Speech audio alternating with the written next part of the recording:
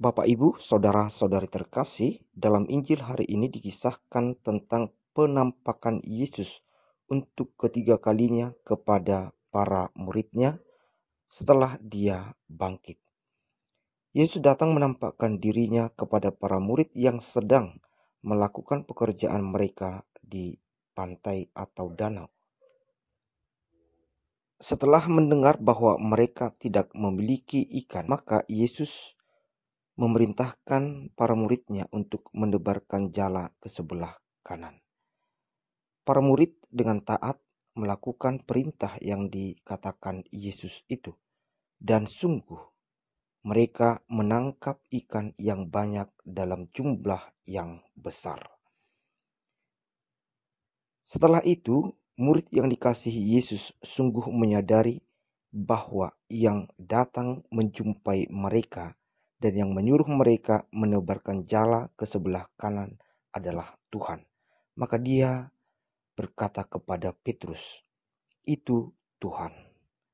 Setelah itu Petrus memakai pakaiannya yang sebelumnya tidak digunakannya.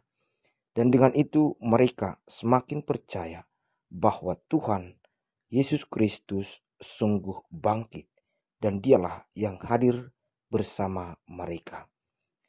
Dengan penampakan dan peneguhan-peneguhan yang dilakukan oleh Yesus setelah kebangkitannya, para murid sungguh bersuka cita.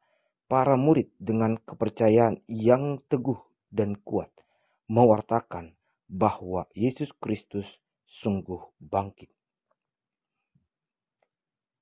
Dalam bacaan pertama dikisahkan bahwa Petrus yang telah berjumpa dengan Tuhan Yesus yang bangkit itu mewarta dengan bersemangat dan penuh keberanian, memberikan penjelasan-penjelasan dan kesaksian tentang Yesus Kristus yang bangkit, menyembuhkan orang lumpuh dengan kuasa nama Yesus Kristus.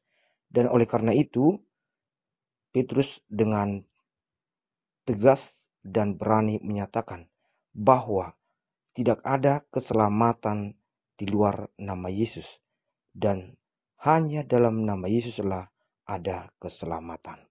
Bapak, Ibu, saudara-saudari terkasih, kita juga diingatkan dengan kesaksian-kesaksian ini supaya kita sungguh dikuatkan dalam iman kepada Yesus Kristus bahwa Dia sungguh Tuhan yang bangkit dari kematian dan yang berkuasa atas segala sesuatu, berkuasa memberikan rahmat kepada kita, berkuasa memberikan ikan kepada para murid, berkuasa menyembuhkan, berkuasa untuk menganugerahkan rahmat-rahmat yang kita butuhkan.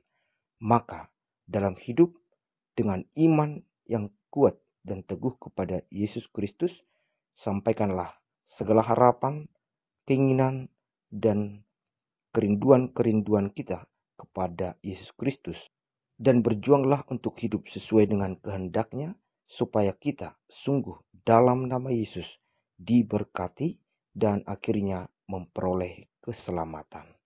Semoga Tuhan memberkati. Amin.